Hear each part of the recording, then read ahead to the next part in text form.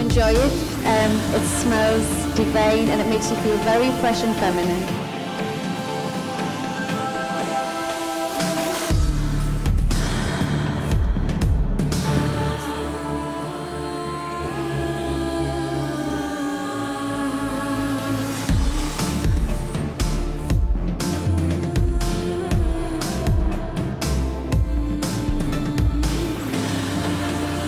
Here today in Pinewood Studios shooting the ad for my very first fragrance with Franklin.